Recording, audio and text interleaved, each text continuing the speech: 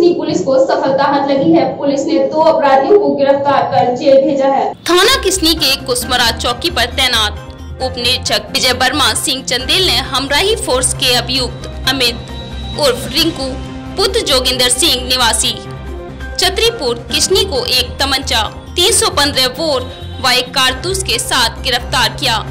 अभियुक्त के खिलाफ थाने पर मुकदमा अपराध संख्या 311 बट्टे बीस, धारा तीन बट्टे पच्चीस आर्म्स एक्ट पंजीकृत कर जेल भेज दिया है। वहीं वरिष्ठ उप निरीक्षक जैकब फर्नाडीज ने भी हमराही फोर्स के साथ अभियुक्त रोहित पुत्र जिलेदार निवासी कटरा, सामान को एक तमंचा 315 वोर व एक कारतूस के साथ गिरफ़्तार किया है और जेल भेज दिया है।